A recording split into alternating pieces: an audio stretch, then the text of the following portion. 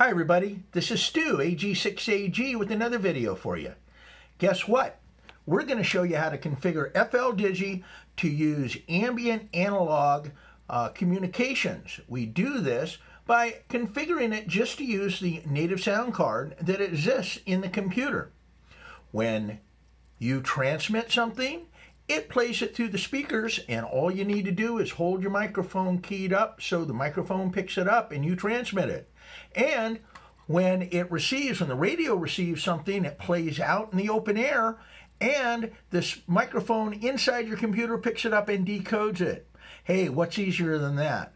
And a special bonus, I show you how to use the messaging program and everything else. So, hey, enjoy the video.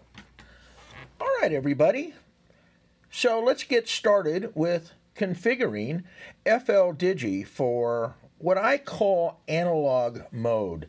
Analog mode uh, is really easy to set up because we're actually just going to use the sound card for the laptop to do everything. And we're going to basically, when we want to transmit, we're going to toss a mic over the radio and key it up and play uh, whatever's coming out of the speakers into the radio itself.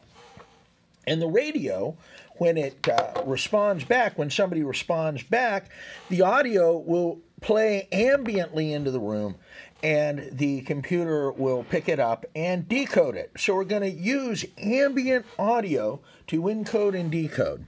Kind of cool.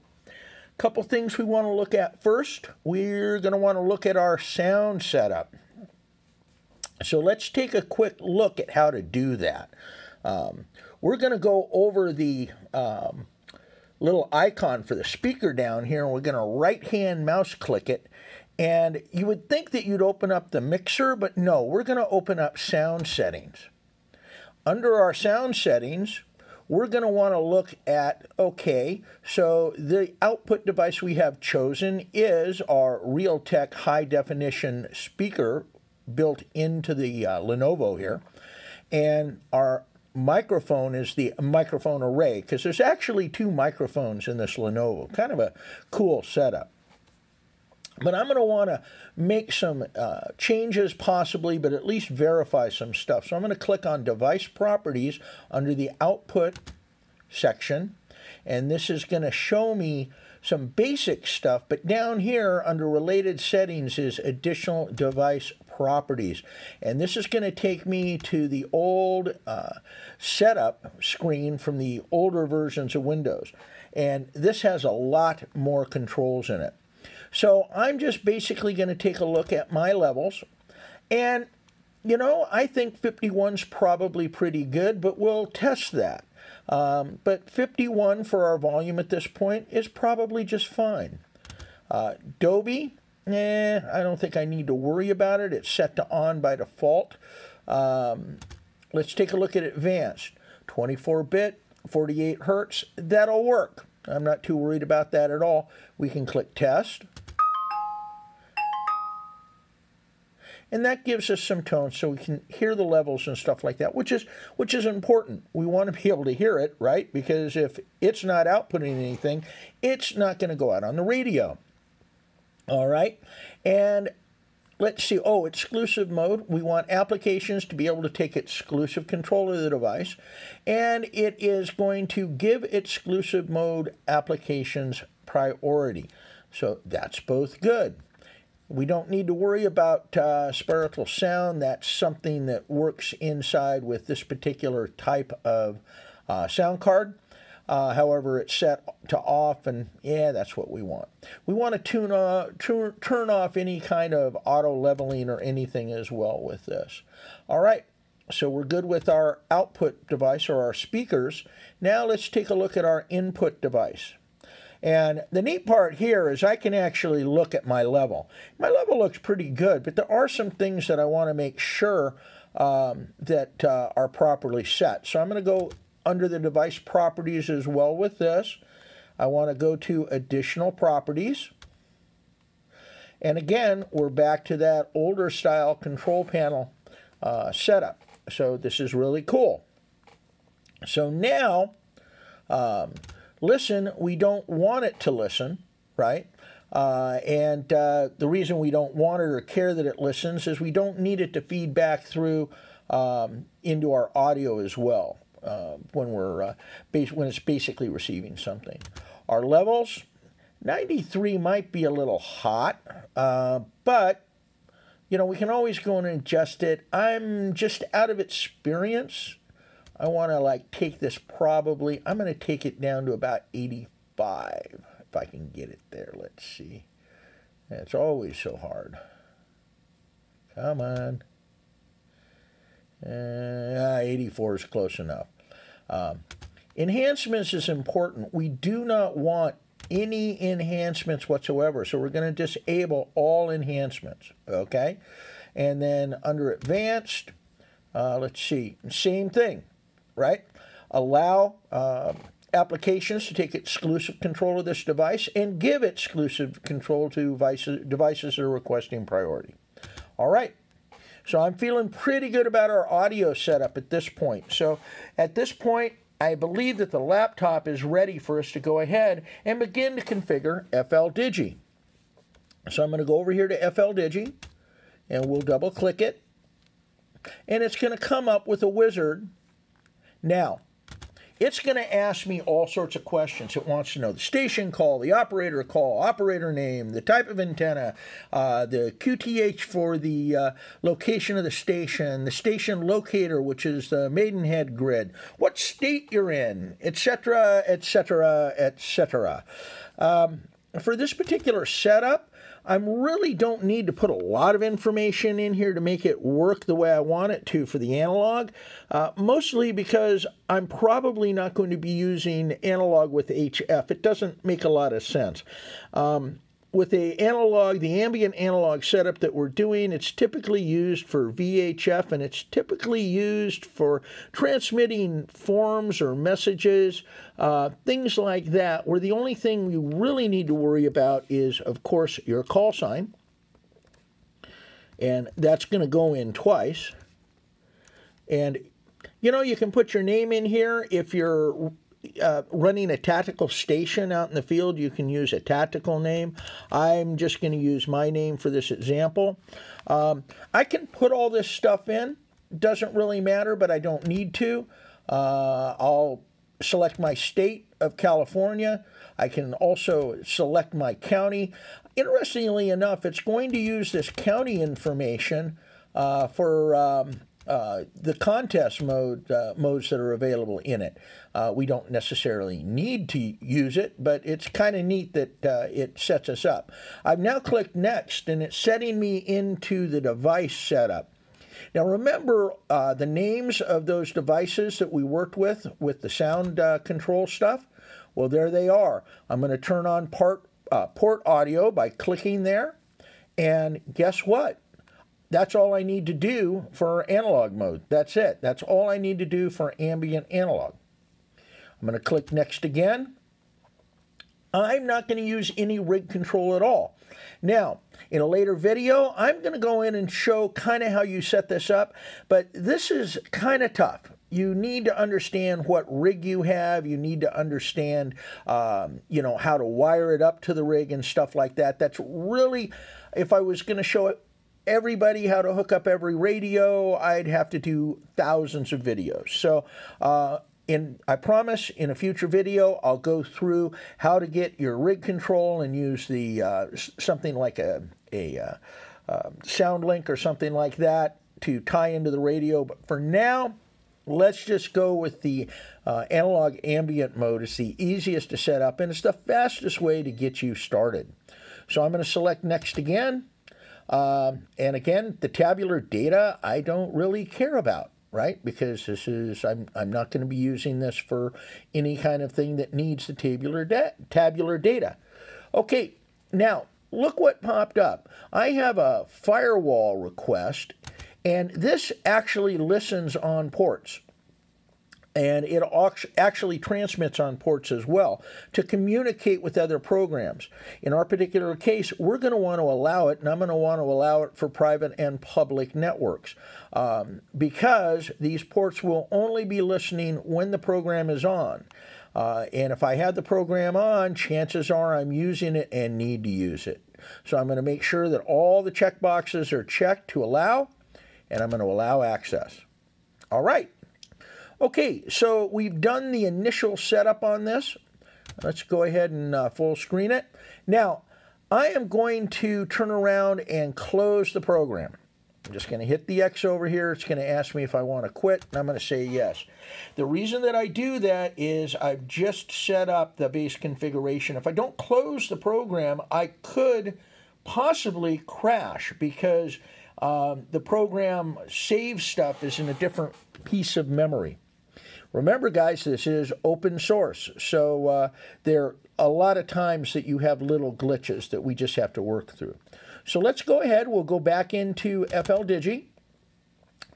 And I'm going to change a couple of things just out of preference. Uh, the waterfall down here has a times one.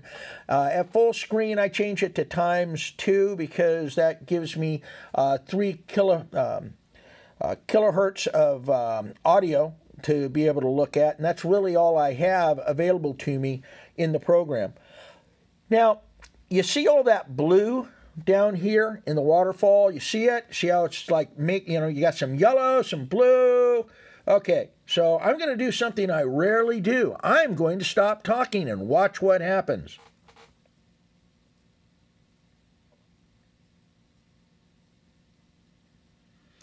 My goodness, it all disappeared. Okay, so what does that mean? Well, that means that the program is picking up the ambient noise in the room. And that's what we want in analog ambient mode. Okay? So, what about our sound output? What about what we're going to turn around and use to put uh, a signal onto the microphone? Well, up in the far right corner here is a little rectangular button and it says tune. I'm going to click that. Oh, listen to that. All right. So I'm getting a nice tone that tells me that, you know what? It's working. I hit tune again and it stops. That means everything is functional. All right, we're getting close. So typically, if you're using this on FM, uh, under uh, on in an FM mode, let's say on simplex on like uh, oh I don't know two meters, you're not going to want to use like PSK31 or other uh, uh, operational modes that uh, are designed for HF. Now when uh, we all get together and do our uh, emergency readiness test, uh, operational readiness test for the county out here, we use MT63 and we use the 200 or 2000L version of that. So I'm going to select that. And down here in the corner, my protocol now says MT632KL. Okay, and for us, that's what we want to use. Now, you can choose any of these modes that you want to to communicate with someone else. Uh, I'm just using this mode or setting up for this mode because that is the mode that we typically use when I'm doing um, analog ambient uh, communications with FL Digi. Now, another important thing is whoever you're talking to, there's a little number down here between these arrows and that number is 1500 in this case. Now if I go up and you see the mouse here as I move it, you see how the that marker moves with the mouse? And then if I take it away, you see that I have two, um, two red vertical lines and then I have a red horizontal line connecting them at the top. So this is the area that it's listening to and it's going to transmit on when we go to do things uh, like uh, send messages and stuff like that. Um, so uh, it's important that you coordinate with whoever you're going to communicate with that number. Um, if it's 1500, great. If it's 1400, great. If it's 1600, great. Doesn't matter as long as it matches the other side or the other people that you're trying to communicate with. All right, so we've come a long way. Let's go ahead and uh, give an example of doing a uh, just a regular um, oh uh, ad hoc message. So I've clicked into the blue portion of the uh, uh, of the windows here, and I'm going to just type in hello. Helps if I spell it right. World.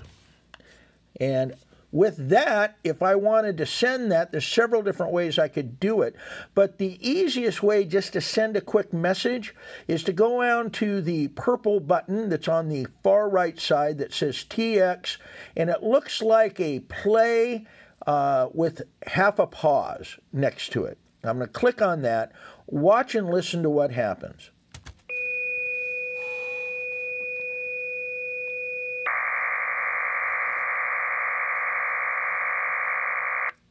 Now, what it did, if you can see up here in the top window, you may have to zoom in a little on the video. It sent my hello world and DEAG6AGK. What which remember when I put my call sign in, that's what the call sign was for. That's why we put it in. Okay, if you're using a tactical, you can use a tactical. It really doesn't matter. Um, remember, though, if you're using tacticals, the same rules apply. You need to identify every 10 minutes with your actual call sign, regardless of whether you're using a tactical or not.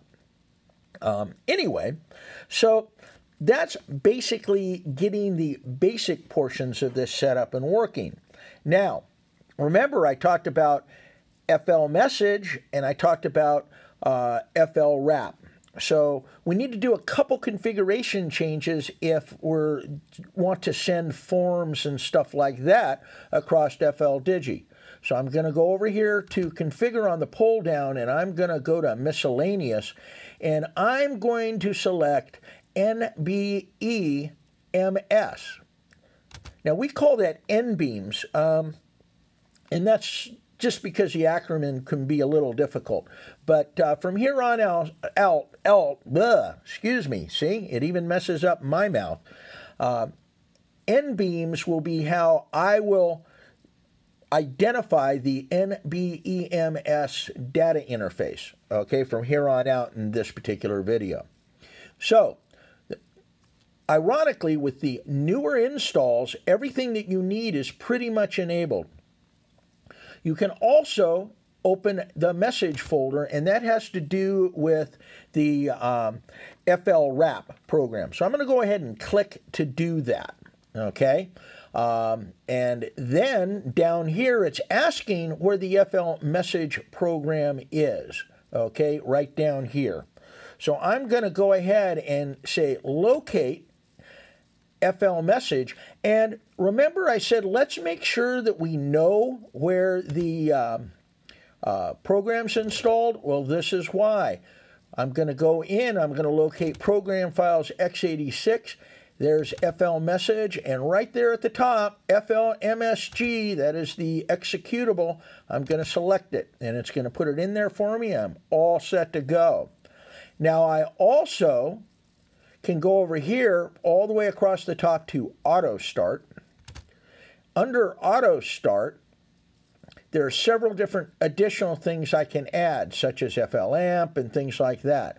I can also add additional programs. So let's say that I wanted to automatically start FL Message um, when I launch the program, right? I can select Locate, and I can select FL message, okay? The same way I did it in the other spot. But I'm not going to do that.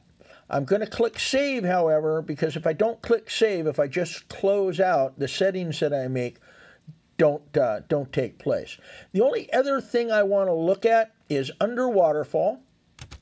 I want to take a look and make sure that monitor transmitted signal is checked.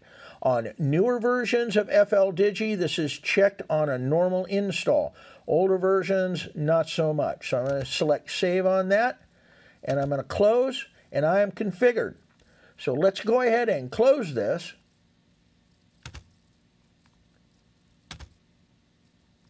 And then we'll reopen it if I click it in the right spot. There we go. Now, this is launched. I'm going to go ahead and minimize it. And let's go ahead and get FL message set up. Okay, it's asking me an, an important question here. It's asking me if I am a service agency or if I'm a communicator. Uh, as the amateur radio operator that's going to be using this as an amateur radio operator, that makes me the communicator, that makes me the expert. All right, and see over here, again, this one wants network access too. And again, we're going to allow access to all the networks that it knows about, just like that. All right, it's asking me a lot of the same questions and some different ones. Uh, in this particular case, I'm just going to put my call in. Um, I'm not going to put my, oh, let's put my name in. Why not? But my address, all that stuff, I'm not going to put in. And you notice we've got tabs across the top. Date and time, it's asking me for the date and time format. I usually just use the default. Um, if you are communicating with another entity and you want uh, they want it in a different fashion, go ahead and change it. Uh, files. So, wrap. Remember we talked about that. Let's see. So we're going to open the folder when exporting, right? And naming files call sign and the serial number, and the date and time is going to be local time. Uh, I'm not worried about a MARS roster. Um, word wrap is at 72 characters. File transfers do not compress the file. All right. Radiogram information, I leave this as the default. ARQ, I leave that as the default. The most important setting here, the UI setting, is the user interface equals expert must be checked or you do not get the complete uh, form here. So let's go ahead and we'll close this because we're done. And there's our message window. We'll move it off to the side. And let's go ahead and let's launch FL Wrap. Guess what, guys? There is no configuration to FL Wrap. Okay, so you would type your message in there however you want it, uh, fill out whatever you want. Um, but important now, remember down here when I said we're going to change to this, the MT63 2KL. Why? Because that's what the group of people that I send messages uh, in ambient analog mode use. Um, well, if I take a look now down at my form here, look at what it says down at the bottom. It does not match that protocol. So I need to open the pull down and I need to go down and find the M63 2KL and select it. Okay? MT632KL. It, you can use any protocol that you want that you agree on with whoever you're sending it to. Just make sure that it matches on all programs.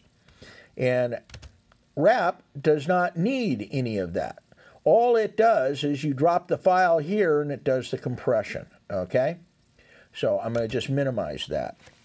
Now, some people like to have that running when they're working in a EOC. Uh, I it's up to you.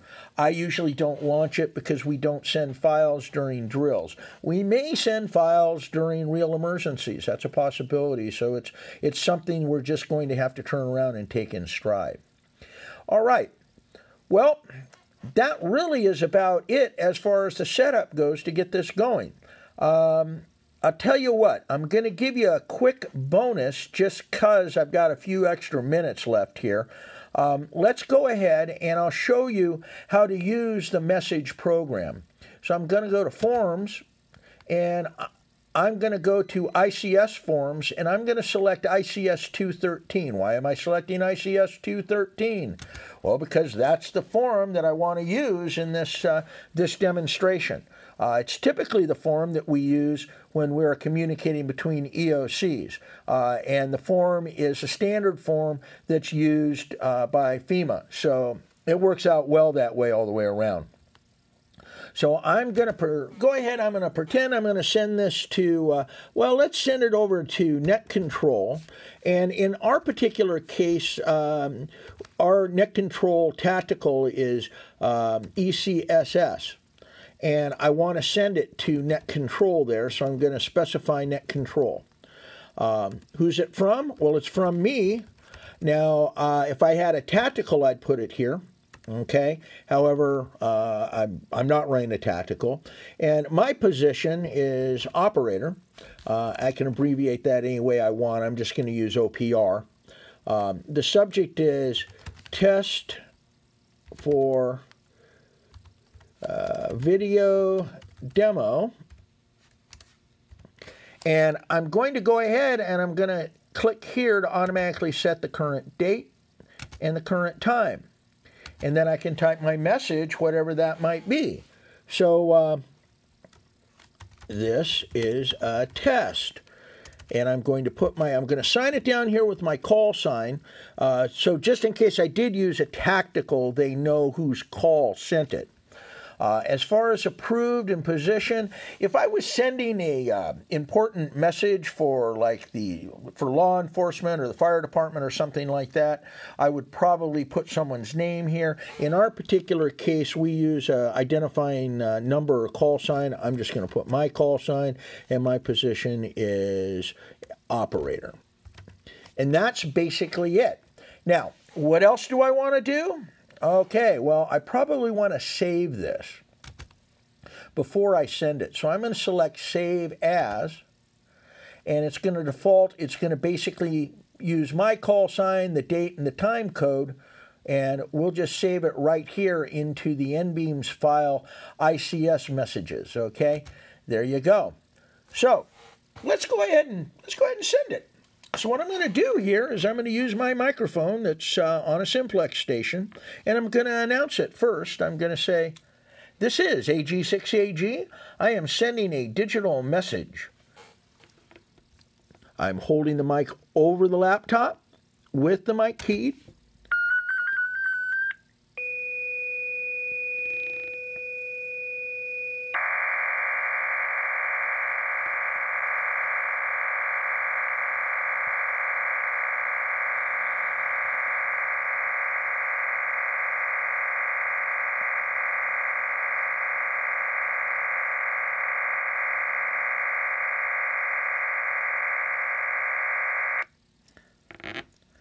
Now I'm going to announce again, this is AG6AG. I have completed sending my digital message.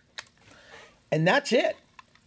Now, we can just leave this running like this, and if someone sends us a message back that's in response to this, all sorts of things are going to happen. Browsers are going to pop up. Um, I, I can't really demonstrate that uh, in the video. I just don't have time, but um, try this on your own. Get a friend to set up on the other side, and you guys can send messages back and forth. Obviously, don't claim anything's an emergency or anything in the message. That violates all sorts of stuff. But um, you're allowed to use these forms, and you're allowed to use these protocols. You know, uh, just maintain within your license, and you will be fine. Anyway, thanks man, that was fun to do. I really enjoyed that. I hope uh, I hope I have the opportunity to do uh, more videos for you guys. This is Stu, AG6AG, and I'm going to bid you 73. Hey everybody, hope you enjoyed that video. It was fun for me to put that one together. And it was fun to be able to do the bonus regarding some of the emergency services stuff. Anyways, we're going to try to have more videos in the future. Uh, Actually, I'd like to do another FL uh, Digi video that deals with HF configuration and stuff like that and actually using it. Maybe we'll do RTTY. I don't know. What do you think? Leave me a comment. Anyway, this is Stu, AG6AG. 73 to all you amateurs out there and have yourself a great time out on the way.